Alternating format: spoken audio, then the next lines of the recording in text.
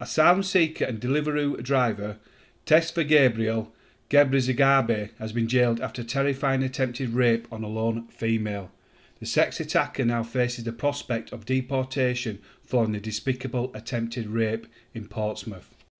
He targeted the victim when she became separated from her friends on a night out in Guildhall Walk, Portsmouth.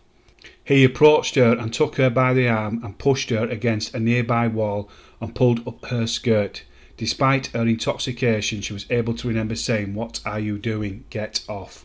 Richard Onslow, defending, said, Gebrzgabhi committed a despicable crime but wanted to offer an abject apology and was deeply ashamed. He said, Gebrzgabhi came to the to the country on a small boat to seek a better life. He was late. He was then sentenced for six years and four months and handed an extended license paid for four years, taking the total sentence to ten years